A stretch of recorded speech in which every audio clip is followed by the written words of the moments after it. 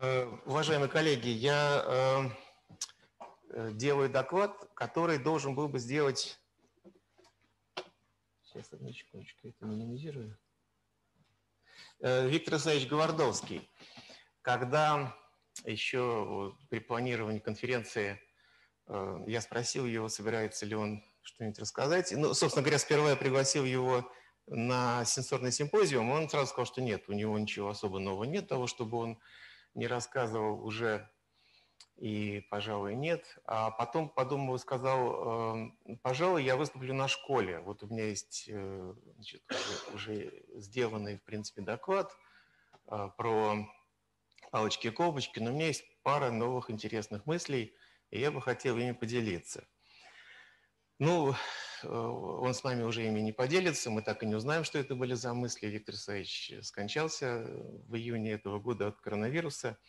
Но я решил все-таки сделать этот доклад в, так сказать, знак э, огромного уважения своего и всего нашего коллектива, и лаборатории, института, в память об этом человеке. Ну и попытаться, может быть, даже отчасти реконструировать, а вот все-таки что бы он хотел сказать. Ну, значит, палочки и кобочки. Не буду долго останавливаться на этом вопросе. Э, все это и прекрасно знают. Два типа фоторецепторов, которые э, служат основой так называемой дуплексной сетчатки, значит, имеющей двойственную природу. Э, современная сетчатка имеет дуплексный характер и имеет так называемую трехслойную структуру. Это слой фоторецепторов – свой интернейронов и э, свой ганглиозных клеток, формирующих зрительный нерв. Э, чуть-чуть истории, когда это все появилось. Ну вот э, самый первый зрительный пигмент, по-видимому, возник у самых ранних многоклеточных и представлял собой... Сейчас, одну секунду. Беру. Угу. Нет. Представлял собой, по-видимому, наследство э, мелатонинового рецептора. А, первый э, легант был ковалентно, сперва не был ковалентно связан э, с, собственно, с белковой частью, потом он стал пришит ковалентно к 296-му лизину, потом это трансформировалось в непротонированное шифровое основание. Затем где-то вот до разделения на первичные и вторичные ротах э, произошла дупликация и появился эроапсин и сиапсин. Эра – это рhabdomерный, который потом дал э, начало огромному семейству рhabdomерных апсинов. А, и рhabdomерные апсины так и остались э, бестабильными. Бестабильные, как, вот, как и их предок, это вот что. Это когда хромофор изомеризовавшись в результате световой стимуляции, так и остается ковалентно пришитым белковой части. И сиапсины, это целлярные апсины, у них, они тоже потом дали начало огромному семейству. У сиапсинов после изомеризации в конце концов легант, хромофор отваливается и уходит. А потихоньку появляются структуры, в которых сконцентрированы фоторецепторы. Сперва это, конечно, э, никакие не глаза, это маленькие пятнышки, в которых еще находятся неоформленные проторецепторы и проторамномерного, и протоцеллярного типа. Нет никакой оптики, естественно. Скорее всего, нет никакой особой обработки. И все вот эти вот островки являются скопищем фоторецепторов первичных нейронов. То есть они сами формируют аксоны. То есть никакой трехслойной структуры еще и в помине нет.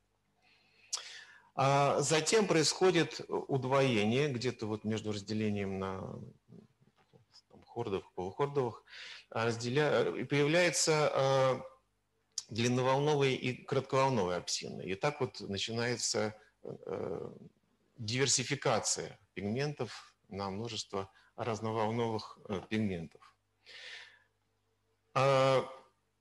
в какой в этом был тогда смысл? Вот сейчас я показываю современную картинку, скажем, трех колбочковых и одного палочкового пигмента, и смысл э, существования нескольких колбочковых пигментов совершенно очевиден. Это основа цветного зрения. Сравнивая сигналы от колбочек с разной спектральной чувствительностью, мы получаем информацию о цвете. Но тогда, когда еще не было никаких нейронных, э, нейрональных структур для обработки этой информации, скорее всего, вот эта первичная разъезжание пигментов в разные стороны имело смысл простого охвата как можно большего диапазона, и все. Потом уже на этой основе сформируются структуры, обрабатывающие эту информацию и, в конце концов, приведшие к возникновению цветного зрения. Но тогда это просто расширение диапазона доступного света. А, незадолго до а, значит, разветвления позвоночных выделяется палочковый пигмент из коротковолнового колбочкового пигмента. Палочковые пигменты достаточно сильно а, будут отличаться от колбочков, об этом я поговорю чуть позже. А, и а, вот тогда возникает, по-видимому, первое разделение белков трансдукционного каскада на палочковые колбочки, которые потом разойдутся уже полностью. Об этом я тоже буду говорить чуть позже.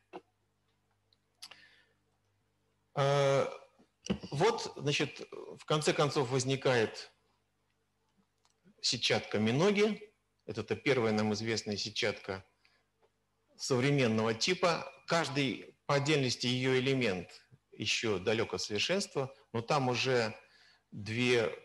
Я вот, у меня картинка миноги делась, да. Там уже э, два типа фоторецепторов, они немножко отличаются.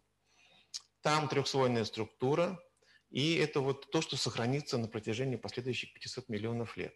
Но а, за эти 500 миллионов лет, естественно, сформировалось большое количество разнообразных вариаций э, э, этих сетчаток. Ну вот, значит, вот эта вот картинка Гвардовского-Чакова 72 года. Миноги тут, ну, плохо, но все-таки видно, что они немножко разной длины. Они и те, и другие конические. А электронно-микроскопические исследования показывают, что у них диски изолированы от плазматической мембраны, а, и вся разница в том, что одни чуть длиннее, другие чуть короче, и все. Это еще далеко не та классическая картина э, разницы между палочками и колбочками. Вот. А, то есть, э, к чему я это говорю? Э, возникшее было ощущение, что существует классическая схема палочки и колбочки, потом с развитием световой подчеркиваю, световой, но пока еще не электронной микроскопии, и до внедрения э, электрофизиологических методов, которые позволяли бы уверенно э, идентифицировать палочки-колбочки.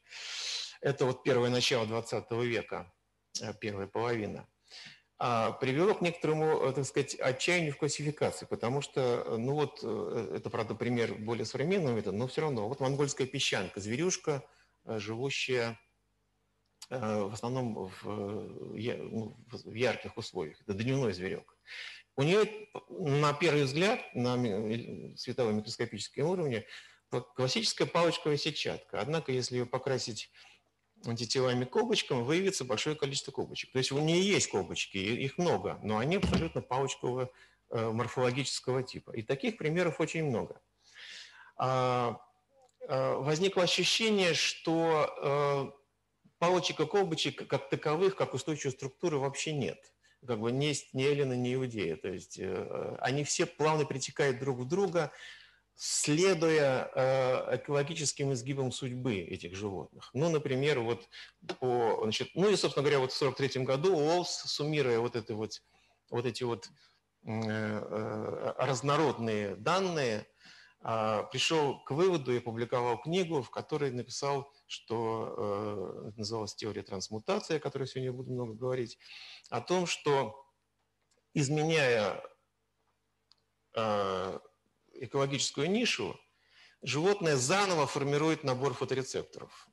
То есть э, нет устойчивых палочек, нет устойчивых колбочек, а есть перетекание одного в другого в зависимости от потребностей. Ну вот он исследовал там, в частности, потомков котилозавров, вот черепахи, они э, значит, э, имели и то, и другое, потом э, перешли к чисто дневному зрению и потеряли палочки, потом перешли к ночным гекконам, и они снова сделали палочки из того, чего было, то есть колбочек, палочек уже не было.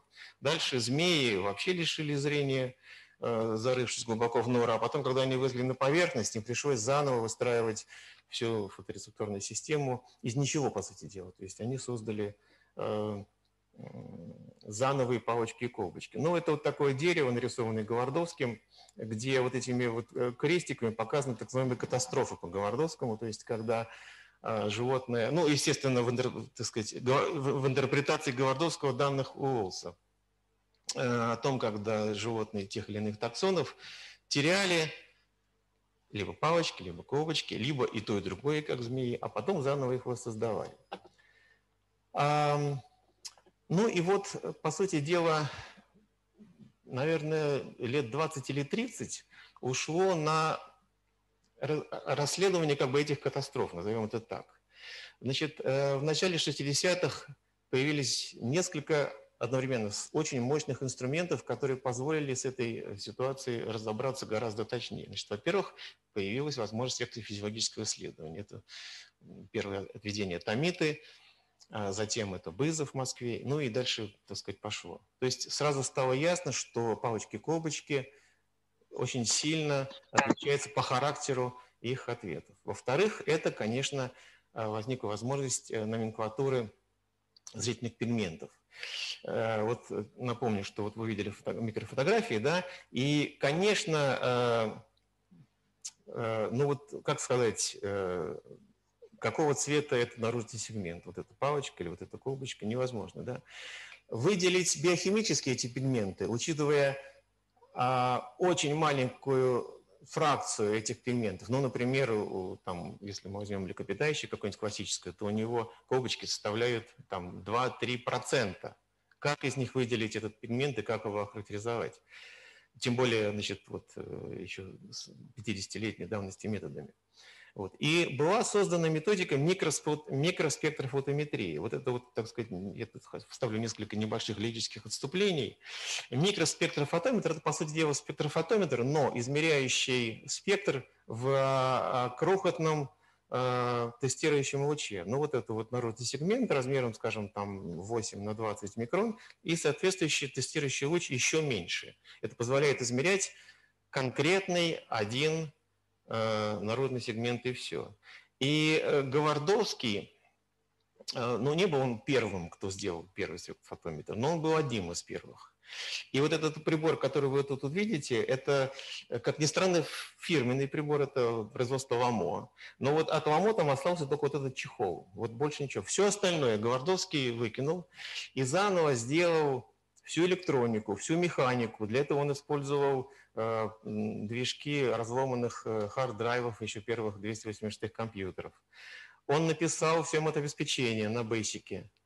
И он э, провел огромное количество исследований, и один, и в соавторстве с микроспектрофотометрией всего мира. И он, более того, начал снабжать этих людей спектрофотометрами своего собственного производства. В мире до сих пор работает, ну, не знаю, думаю, что 3-4 точно – все еще основанных на вот этом 206 компьютере и написанных Говордовским коде в Basic. А, в Хельсинки, я знаю, работает, в Москве работает, еще работает. Настолько хорошо это было сделано. И было опубликовано им ну, больше 40 работ только на английском языке с огромным числом общего цитирования. И вот это все вместе, вот эта вот работа позволила создать, ну, в частности, например, эволюционное дерево, зрительных пигментов, э, которое потом было во многом подтверждено уже данными генетических исследований. И оказалось, что, э, э, по крайней мере, на уровне вот пигментов никакого перетекания нет. Значит, колбочковые пигменты остаются колбочками, палочки остаются палочками, и они не перетекают друг в друга. Эти линии как разошлись, так и сохраняются разошедшимися. Вот вторая история – Visual Pigment Template. Это тоже про Говордовского. А, вот это как бы такая классическая картинка зрительных пигментов. А, если присмотреться, то видно, что формы их очень похожи. То есть можно было бы э, подумать, что это всего лишь транслокация вдоль э, оси волн, длин волн, э, и если мы их совместим, они наложатся. Это не так. На самом деле при смещении вдоль оси длин волн по x происходит уширение или сужение спектра поглощения. А аналитическое описание спектра поглощения крайне важно, потому что вот это мы видим как бы картинку, а вот это вот реальные измерения. Да? И для того, чтобы точно сказать, какой здесь максимум пигмента, а это важно, эту кривую хорошо бы описать. А чем ее описать? Вот нужен темплейт. А, и нужен темплейт, он как бы инвариантный. Вот, э, э, значит, э, учитывающий то обстоятельство, что в зависимости от того, где находится реальный максимум пигмента, здесь, здесь или здесь, он должен еще и менять свою форму. Такие темплейты, темплейты были ранее предложены, и, в общем, они не очень хорошо описывали пигменты, особенно Э, бета-полосу, потому что у пигмента есть альфа-полоса, собственно, пигмента и бета-белковая. И вот Гвардовский э, в 2000 году взял на себя гигантский труд, он проанализировал э, огромное количество пигментов, значит, ну, как бы сделал работу по подгонке, опубликовал этот темплейт, и этот темплейт до сих пор является золотым стандартом, и вот эта вот работа 2000 года э, обладает индексом цитирования 775, это один из рекордов, я думаю, что ну, нашего института уж точно. А, когда появились э, электрофизиологические измерения палочек, то, как я уже говорил, стало понятно, ну, и фоторецепторов, э, насколько они разные. Значит, вот вы видите классический пример палочков и колбочков записей. И, э, так сказать, тут они на картинке выглядят достаточно одинаково, но если мы присмотримся, во-первых, к оси времен, значит, тут вот секунды, а тут миллисекунды, а во-вторых, вот к этому графику, показывающему смещение чувствительности, мы увидим, что ответы колбочек гораздо быстрее, более чем на порядок быстрее, и гораздо менее чувствительные. Значит, вот эта вот разница, видите, два с половиной порядка. То есть если бы мы, скажем, сопоставили вот этот вот палочковый ответ и нарисовали бы здесь колбочковый ответ на эту же чувствительность, мы бы ее просто не увидели. Колбочка на такие, на такие вот э, стимулы она бы просто не ответила. Чуть-чуть напомню, чем достигается фоторецепторный ответ и у тех, и у других. Ну, есть светоактивируемый пигмент GPCR, либо в ковочком, либо в палочковом варианте. Дальше же белок трансдуцин, который активируется в ответ на возбуждение фоторецепторного фотопигмента. Затем есть э, эффекторный белок э, ЦГМ-фосфодиэстераза, который гидролизует циклический гуаноземный монофосфат, уровень которого в клетке в темноте высок, а значит, на свету начинает падать. Э, ЦГМФ в темноте держит открытым гониот э, ЦГМФ зависимые каналы, а дальше они закрываются, и клетка гиперполяризуется. Э, этот каскад обеспечивает мощное усиление. Значит, вот один родопсин активирует больше 100 молекул G-белка, значит, коэффициент 100. Дальше один к одному G-белок активирует фосфодиэстеразу, и дальше еще примерно так сказать, двухпорядочное усиление Эм, за счет гидролиза фосфодиэстераза циклического гонозинного монофосфата. И существуют мощные обратные связи, которые дальше этот активируемый ответ выключают, потому что важно не только ответ включить, но как можно скорее, в случае как, как минимум колбочек, его выключить. Иначе мы не увидим следующую стимуляцию. Так вот, когда наступила эпоха молекулярной биологии, то выяснилось, что вот эти все элементы трансдукционного каскада существуют, а их там больше 20, я тут, естественно, на схеме далеко не все показал, существуют э, в палочковой и колбочковой э, варианте. И разошлись они очень давно, похоже, где-то вот на уровне э, миноги. А почему э, палочковый ответ медленный, а колбочковый быстрый? Э, на самом деле потребовалось довольно много лет на то, чтобы четко сформулировать ответ на этот вопрос. Значит, во-первых, э, предполагалось раньше, что потому что колбочка э, медленнее активируется. И действительно, если сравнить, вот прошкалировать ответ колбочки, ответ палочки, то видно, что, ну, тут этой картинки нет, э, колбочка активируется медленнее. Но э, вот э, несколько лет, работы в нашей лаборатории над, этим, над этой проблемой выяснилось, что проблема в том, что колбочка как только начинает свой ответ, ну, собственно говоря, что мы регистрируем? Да? Мы регистрируем вот Здесь была вспышка, да, и дальше пошел фотоответ колбочки. Так вот, как только пошел нарастание фотоответа колбочки, тут же пошли процессы выключения. Короче говоря, процессы выключения активно вмешиваются в форму фотоответа с самых первых миллисекунд. Поэтому, а, анализируя начальную стадию фотоответа, а только из нее и можно извлечь информацию об скорости активации, нужно иметь в виду, что она сильно искажена процессами уже выключения. И потребовалось создать специальную математическую модель, э, которая бы учитывала все эти вопросы, чтобы показать, что если вот эта вот запись, то реальная скорость выключения – это вот эта линия номер 4.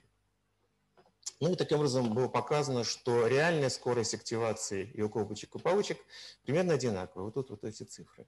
Но не выключение. Вот выключение, ой, извините, выключение у палочек и колбочек действительно очень разное. Значит, э, скорость синтеза CDMF у колбочек в 10 раз быстрее. В 10 раз быстрее выключается активированный фотопигмент – Э, э, в 10 раз быстрее выключается активированный фосфодиэстераза и гораздо быстрее работает система кальциевой обратной связи. Э, вот это и обеспечивает большую скорость выключения. Ну хорошо, это значит, объясняет, почему колбочки менее чувствительные, чем палочки. Но разница в диапазоне освещенности от как бы, темной ночи до очень светлого дня, где колбочки все еще работают, это 10 порядков. А почему колбочки все-таки не насыщаются? Да, конечно, они э, там, в, тысячу, в тысячу, в 10 тысяч раз менее чувствительные, но диапазон-то в 10 в 10 а, казалось бы, они все-таки должны когда-то насытиться. Оказалось, что у них существуют мощные механизмы, исключающие насыщение. Значит, во-первых, это э, пассивный механизм обесцвечивания зрительного пигмента. То есть э, на свету большая часть зрительного пигмента, ну, скажем так, у нас э, условно 100 единиц пигмента, да, так вот на свету из них 99 или там 95 обесцвечены, а оставшиеся 5, соответственно, обеспечивают в 20 раз меньшую чувствительность, потому что только они и работают. Это раз. А, второе. Э, существуют механизмы гораздо более быстрые, чем у палочек регенерации зрительного пигмента. А, они включают гораздо более быстрый распад колбочковых метапродуктов и дополнительные пути снабжения колбочек регенерированным хромофором. Сейчас я поясню, что это значит. Вот это вот э, э, график скорости образ... э, распада метапродуктов. Значит, что такое вообще метапродукты у зрительных пигментов? Когда пигмент поглотил фотон, у него э, хромофор изомеризовался, но остался пришитым э, к белковой части. Вот эти вот продукты называются метродопсин-1, метродопсин-2 и метродопсин-3. Там несколько последовательных стадий. А, и пока хромофор не отвалился от метродопсина, он ресайклингу не подлежит. То есть надо для того, чтобы начать ресайклинг, нужно, чтобы вот эти два компонента наконец развалились. Так вот, э, у палочек, это вот эта черная линия, э, это происходит достаточно медленно, видите, тут э, сотни секунд. То есть вот 10 минут, а еще 20% не развалилось. А у колбочек этот процесс происходит гораздо быстрее. А это означает, что он гораздо быстрее высвобождает субстрат для последующего ресайклинга. Так сказать, там, гораздо, на два порядка быстрее. И дальше э, вот этот ретиналь, который высвободился, он должен обратно изомеризоваться, изотранс в 11 цис-конформацию. У палочек это э, один путь, один в смысле единственный. Это через э, пигментные эпителий, туда транспортируется обесцвеченный ретиналь, там он изомеризуется обратно и возвращается. А у колбочек, ну, как минимум несколько путей. У них тоже существует путь через пигментные эпителии, но также существует еще дополнительный путь через глиальные мелюзские клетки. Возможно, существуют сейчас показаны и, и внутренние резервы. Короче говоря, у палочек все это гораздо э, более мощная система вот этого ресайклинга. Ну, значит, вот тут суммированные вот эти вот э, свойства палочек и колбочек. И э, вот это заключение, предварительное заключение о том, что и те, и другие являются высокоспециализированными клеточными типами, но колбочки как бы с эволюционной точки осмысленно, намеренно обменивают э, чувствительность на скорость реакции и качество зрения. Это мы сейчас говорили про функцию, про физиологию. Но значит, теперь, так сказать, морфологические э, типы. Э, палочки, напомню, цилиндрические наружные сегменты, и диски, изолированные от плазматической мембраны, такие значит, мембранные стопки. У колбочек это маленький конический сегмент, сужающийся к концу, и диски являются инвагинациями плазматической мембраны. Надо сказать, что, да, ну и еще, конечно, э, структура синаптических окончаний. У палочек э, синаптическое окончание достаточно э, не то что просто, но ну, проще, чем у колбочек устроено, а вот у колбочек это э, огромная сложная структура со множеством э, отростков э, вторых нейронов, горизонтальных и биполярных клеток. А, ну, с, почему колбочковое синаптическое окончание устроено гораздо сложнее, чем палочковое, в общем, понятно. Колбочкам нужно обрабатывать цветную информацию, сравнивать ответы, вычленять э, световые контрасты и так далее. Палочкам нужно просто суммировать и передавать дальше э, с больших площадей. Это как-то еще объяснимо. А вот почему коническая структура? Зачем? А, зачем э, палочкам, она, в общем, понятна. Им нужно собирать много фотонов. А почему бы тогда колбочкам не сделать то же самое? Собственно говоря, чем плохо?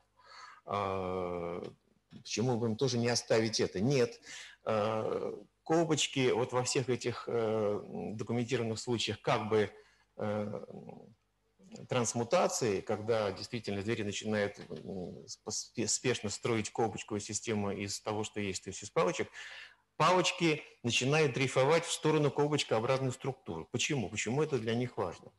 Ну вот э, здесь тоже довольно много э,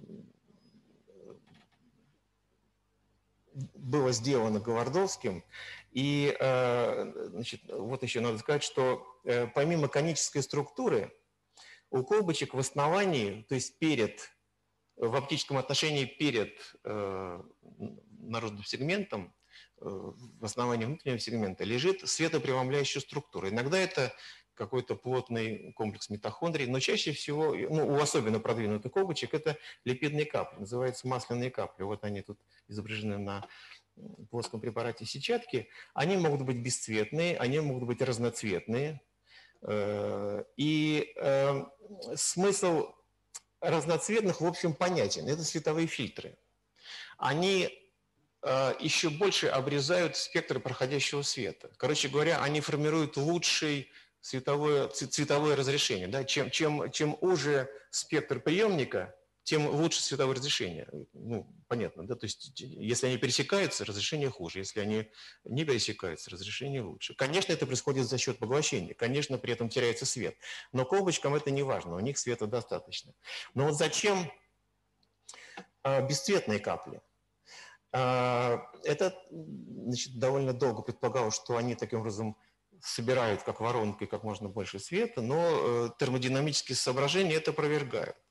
А бесцветные капли обеспечивают, э, обеспечивают извините, э, дирекциональную чувствительность. Вот на этом графике, построенном Говордовским, значит, это расчетный график. Видно, что вот эта вот дирекциональная чувствительность колбочки с масляной каплей, прозрачной, а это без масляной капли. И приводит это вот к чему. В случае э, темноадаптированного зрачка, когда он открыт полностью, примерно на 20 градусов, разница между колбочкой с каплей и колбочкой без капли никакой, потому что как бы, зрачок и так достаточно широко раскрыт.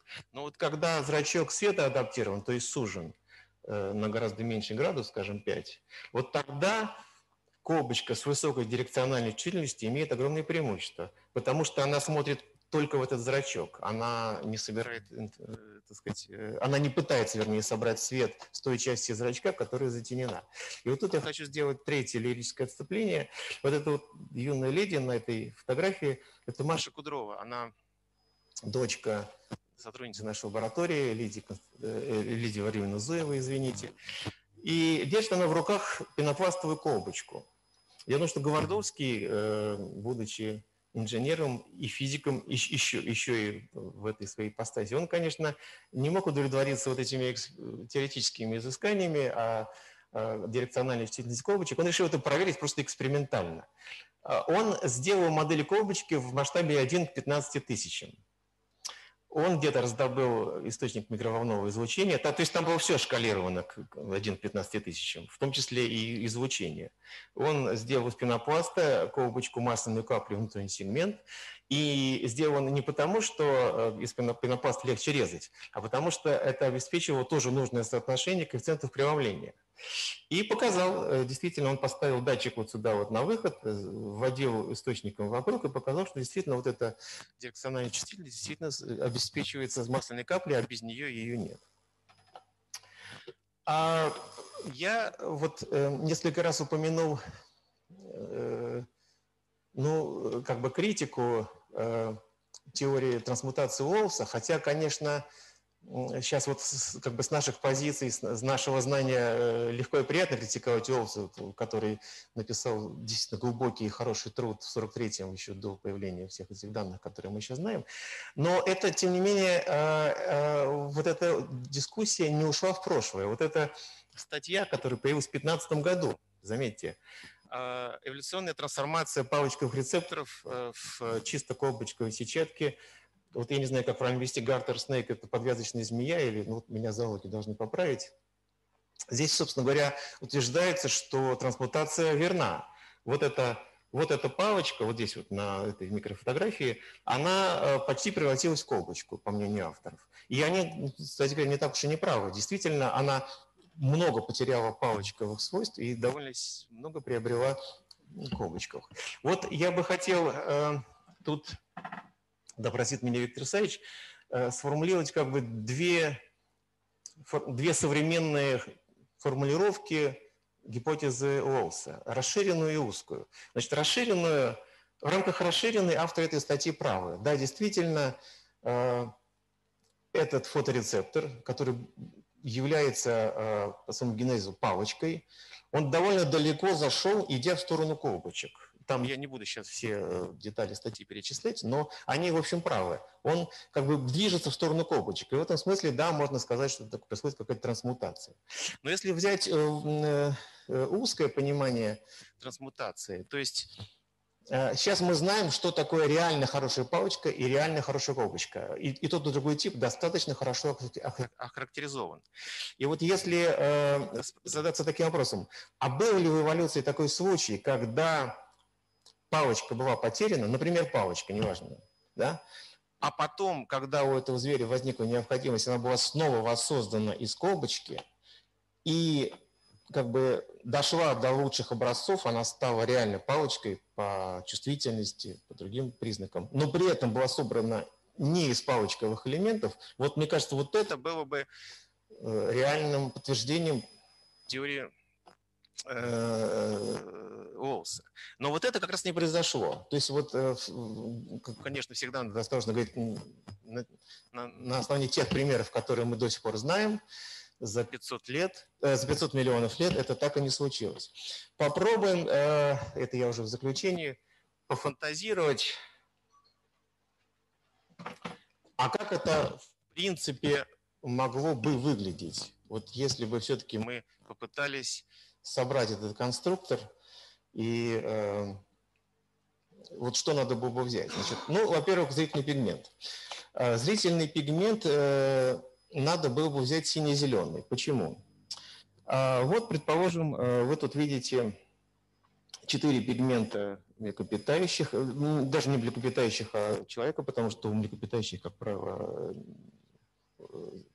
длинноволновой пигмент один. И вот, предположим, палочковый пигмент пропал, значит, нам надо сделать э, его из колбочкового. Значит, э, какой надо выбрать? Ну, хочется первое, что напросит, давайте все, давайте все, давайте все фоторецепторы сделаем универсальными. Вот не получится, потому что существует такая проблема темнового шума. Значит, напомню, что в темноте палочки генерирует такое спонтанное событие, которое вызывается термическим распадом молекул зрительного пигмента. И э, еще, опять-таки, 70 лет назад было постулировано, а затем и доказано, в том числе и нашими работами, что вот частота этих спонтанных распадов, она зависит от максимума поглощения пигмента. Чем более красный пигмент, тем выше частота. А, и с точки зрения термодинамики это понятно, значит, чем краснее пигмент, тем он менее стабильный, тем меньше энергетический барьер, который надо перескочить.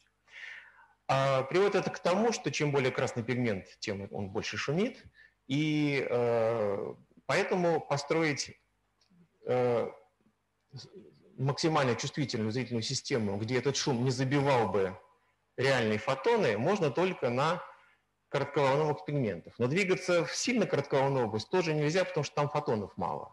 Если посмотреть график зависимости э, числа фотонов от спектра, то он неуклонно повышается в красную область. Таким образом, вот это положение 500 нанометров – это некий компромисс между чувствительностью и доступным количеством фотонов. Поэтому строить а, универсальный рецептор надо на основании сине-зеленого пигмента где-то в районе 500, э, да, и э, это должен быть колбочкового типа пигмент с высокой э, скоростью деградации метапродуктов, потому что палочковая медленная деградация не даст нужной скорости оборота. Дальше, народ сегмент. Ну, наверное, надо взять цилиндрический, хотя, сразу оговоримся, э, при этом, безусловно, улучшится дирекциональная чувствительность. То есть уже как бы будет не очень хорошая, так сказать, колбочковая чувствительность. Дальше. Родопсин-киназа. Родопсин-киназа выключает родопсин. И э, у палочек она регулируется примерно в 5 раз э, от низкого кальция высокому. То есть в темноте она работает медленнее, позволяя ответу хорошо развиться и формируя большие одноквантовые ответы. На свету она работает э, быстрее в 5 раз за счет понижения концентрации кальция. А, так вот, э, если мы хотим, чтобы э, это была еще и колбочковая система, то есть она бы работала при клубочках надо, чтобы она работала не в 5 раз быстрее, а в 50 как минимум. То есть надо выключать еще в 10 раз быстрее. И таких родопсин нас в природе мы не знаем. То есть вот тут уже прокол. Но это, конечно, не значит, что их в принципе нельзя построить, но вот их нет. Дальше система регенерации пигмента. Ну, чтобы она могла работать и при колбочках интенсивных, понятно, что она должна быть быстрая, тут уж э, как бы придется смириться с тем, что значит, э, в случае низких интенсивностей она будет все равно быстрая. Но возникает вопрос, а выдержит ли это все метаболизм клетки? Потому что маленький колбочковый наружный сегмент, он еще, ну, по факту работает, да? А вот когда наружный сегмент будет палочкового типа с объемом в несколько раз больше, потянет или нет? Вот вопрос. И ответ не очевиден, потому что вот посмотрите на этот пример. Вот э, это тоже, кстати, работа Гвардовского. Исследование геккона, который перешел к ночному образу жизни. Вот у него, у его предков был вот этот красненький спектр зрительного пигмента, затем он ушел в ночь, и он стал более коротковолновым. А вот это его, вот этим синеньким показана скорость э, деградации метапродуктов. Вот обратите внимание – значит, как я уже говорил, у колбочек он быстрый, да? у палочек он медленный. Э, геккон движется в сторону палочек. Но, казалось бы, а зачем ему э, вообще трогать скорость э, деградации? Ну, пусть он останется колбочкой. В конце концов, быстро как бы, регенерирует, ничего плохого. Нет. У него стала замедляться скорость деградации по-видимому, ну, простое эволюционное объяснение, что это какой-то критический фактор, и как только с него снят эволюционный пресс, он начал, э, так сказать, двигаться в сторону меньшей нагрузки на метаболическую систему клетки. Таким образом, э, как бы системе не все равно, по-видимому, да? Э, и э, вот следующая масляная капля. Э, наверное, не надо, потому что она будет сильно съедать чувствительность в палочковом режиме, она будет фильтровать свет, но опять-таки это по Гвардовскому ухудшит дирекциональную чувствительность. И синаптическое окончание. А, ну, колбочкового типа, потому что можно себе представить, что какой-то такой нейрональный режим, когда на ярком свету, когда света много, будет колбочкового типа обработка информации, а в темноте, когда света будет мало и сигнал будет примитивный, э, вся эта система будет как-то выключаться и пойдет просто простая мощная суммация, как это характерно у палочек. Это еще представить себе можно. Таким образом, вот э, что я хочу сказать. В этой схеме ну, нет ничего принципиально невозможного, но она так и не реализовалась. И нам теперь остается только подождать следующие 500 лет, 500 э, миллионов лет, чтобы посмотреть, все-таки возможно это или нет. Пока это ни у кого не получилось. Ну и вот я хочу показать вот эту картинку, подготовленную не мной. Ее подготовил Гвардовский к своей предыдущей лекции, и я знаю, что он собирался перенести ее и на эту. Ну, а в конце еще раз посмотреть на Виктора Саевича. Спасибо за внимание.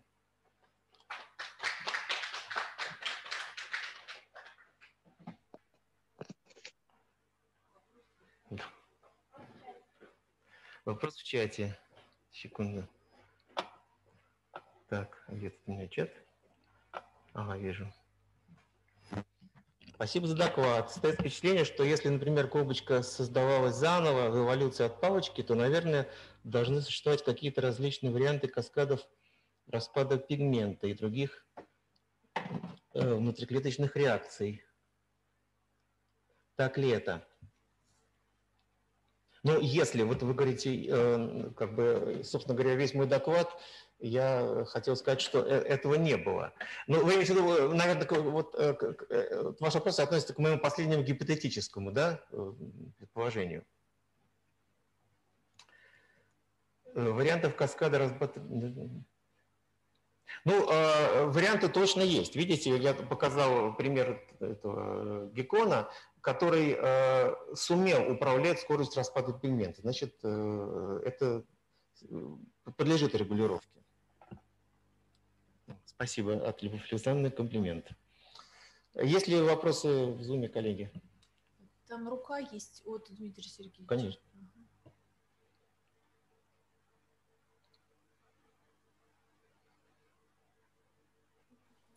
А, спасибо за интересную лекцию.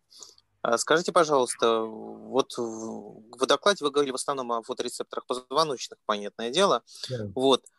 Что касается беспозвоночных, головологих, например, а, как, как там с морфологической организацией фоторецепторов, если просматриваются ли в целом какие-то общие закономерности с тем, что мы наблюдаем у позвоночных. Понятно, что там будет своя специфика, вот, но тем не менее.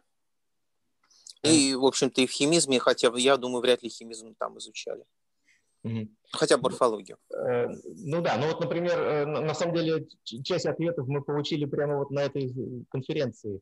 Был прекрасный доклад Валерия Валентиновича Жукова из э, Калининграда, который, вот, я знаю, сейчас тут присутствует. Он э, анализировал фоторецепторную систему. Мы очень мало знаем о транзакционных каскадах непозвоночных и даже о том, э, собственно говоря, на какой системе они работают. Это э, циклические нуклеозид монофосфаты или IP3, как, например, у насекомых.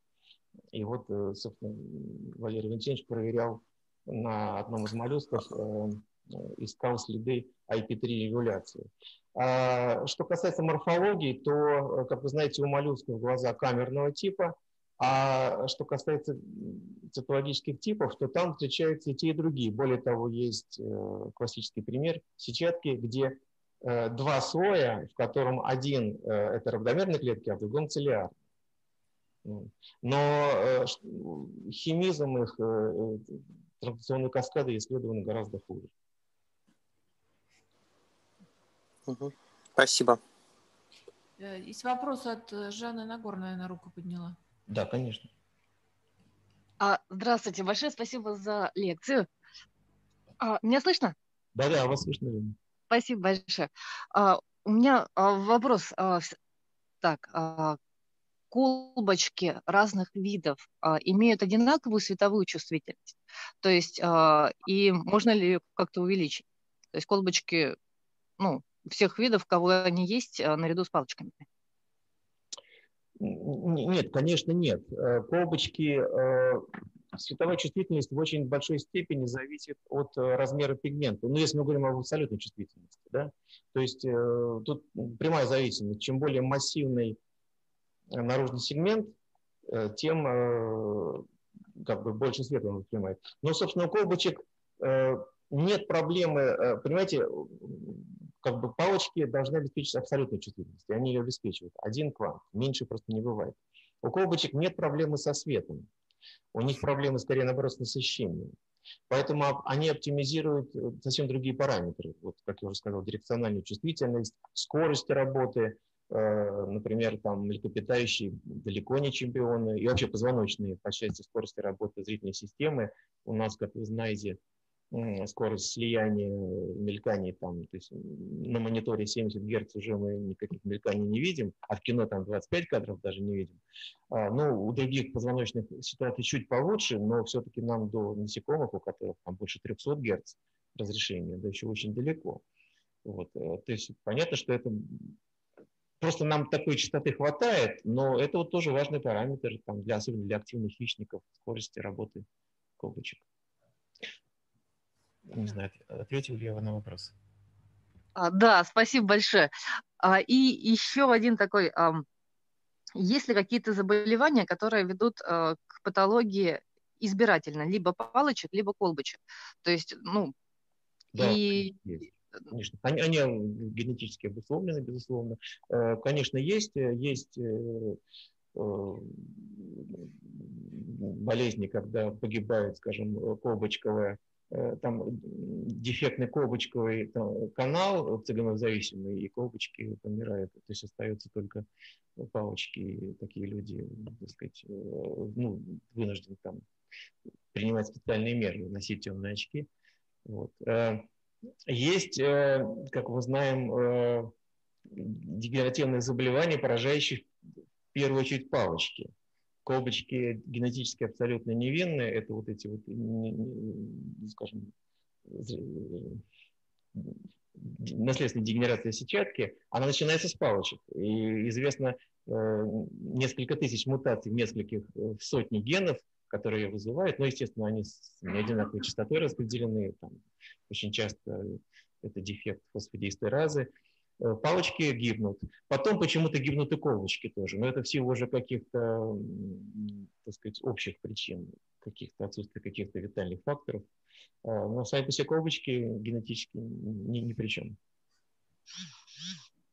А, да, а, у меня просто изначально вопрос был еще, есть ли заболевания не генетически обусловленные, а, которые ведут а, ну, к патологиям вот, спорадические так называемые заболевания, которые ведут к патологиям палочек или колбочек или всех вместе.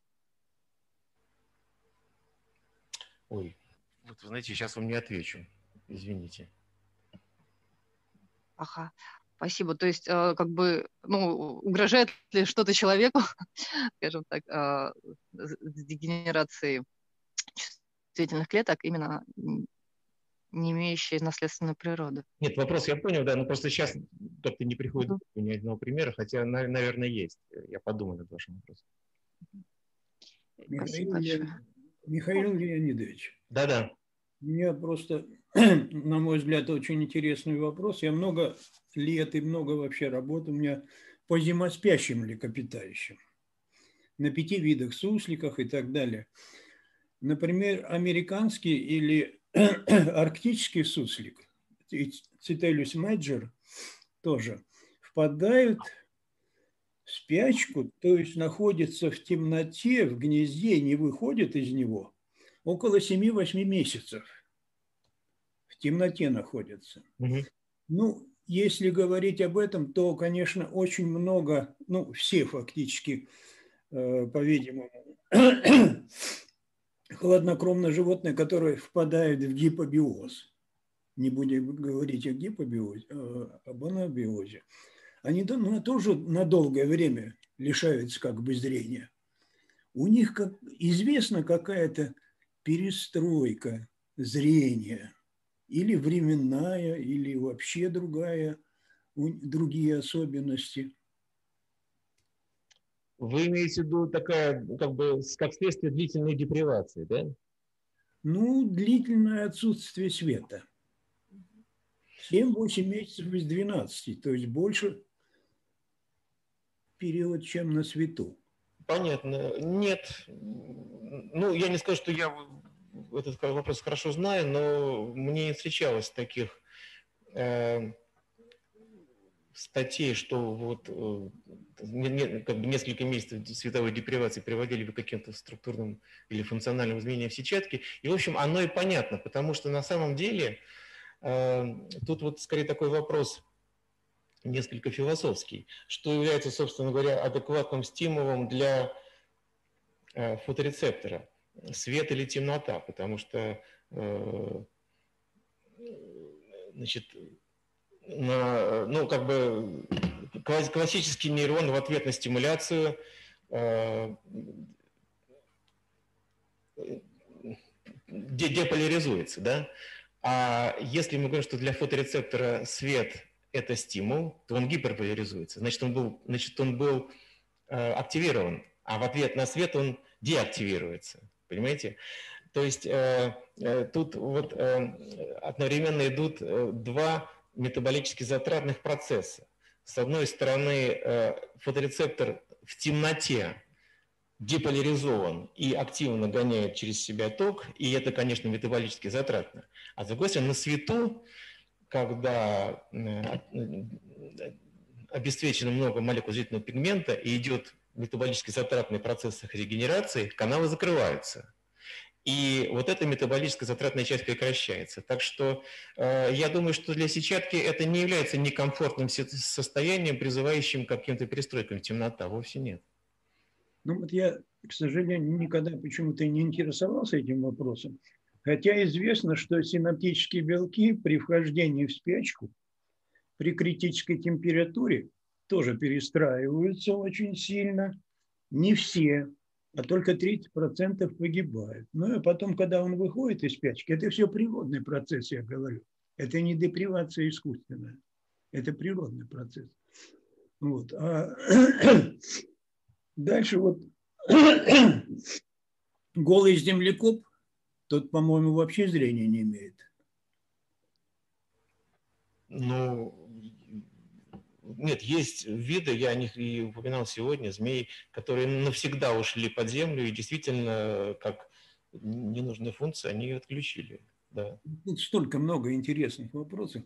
Но те же вот э, водные и морские млекопитающие, многие же из, млекопи... из наземных млекопитающих стали водными и полуводными. Вероятно, тоже зрение перестройка. Не знаю. Конечно, нет, э, вот как раз этому э, не то, что не из числа, но много примеров, вот об этом в частности Островский рассказывал на нашем симпозиуме, когда э, даже один и тот же вид и не так далеко разошедшийся эволюционно, скажем, э, там креветки, которые одни живут в море, а другие, скажем, были изолированы в э, водоеме и потом приспособились к пресноводному образу жизни, а в море и в пресноводном водоеме спектр пропускания сильно разный, пресноводных водоемах он в красную область еще на морских водах в синюю. Так вот у них и пигменты э, разъехались, и, и довольно быстро в эволюционном отношении. Таких примеров много, да. Ну вот протоптеруса нектенс овен, двоякодышащая, до двух лет в гипобиозе под землей. В Египте, в маленьких водоемах, они песочком покрываются тоже Угу. Сохраняется у них что-то или меняется, ну, по-моему, неизвестно. Ну ладно, спасибо. Просто вот очень много вопросов возникает во время такой интересной лекции. Спасибо. Тут э, в чате еще слова благодарности от Натальи Николаевны Наливаевой. Большое спасибо за прекрасный доклад. Виктор Исаевич был бы доволен. Светлой ему памяти и успешного продолжения этих интересных и важных исследований. Спасибо. Коллеги, есть ли еще у кого-то вопросы? Извините, у меня короткий вопрос, Михаил Леонидович, можно? Да, да, а вот скажите, пожалуйста, если вот так гипотетически ну, выключить или э, замедлить э, вот эти э, реакции э, инактивации, э, инактивации, активации зрительного каскада у колбочек, то их световая чувствительность подтянется к палочкам, да, так я понимаю, если бы это удалось сделать? Да, да, вы правы. Э, действительно, э, э, вот на тех видах переходных, где померили такие электрофизиологию, показали, что этот процесс действительно идет. Как бы тут Виктор Александрович в таких случаях употреблял слово «портить». Он говорил, что а, да, да, да, начинают портить свою замечательную систему быстрого выключения и двигаться в сторону палочек, но палочек не достигает. И наоборот, палочки, которые значит, двигаются в сторону колбочек, действительно ускоряется с выключением. Но, повторюсь, ни те, ни другие не достигают лучших образцов. Ну, наверное, еще потому, что у них же различная длина пути кванта, да, и, не знаю, там, может быть, концентрация Понимаете, э, э, с одной стороны, да, но с другой стороны, они э, начинают это делать на основе тех э, наборов э, белков, которые все-таки остаются отобранными для палочек. И, mm-hmm. наверное, э, ну, просто вот из этого набора уже трудно сделать э, без возвращения к исходной точке э, Э, систем, а, ориентированную на принципиально другую задачу. Спасибо. Ну и спасибо большое за, ну, за доклад и за воспоминания Виктора Исаевича. Большое спасибо. Спасибо, Есть ли еще вопросы, коллеги? Тогда поблагодарим Михаила Леонидовича.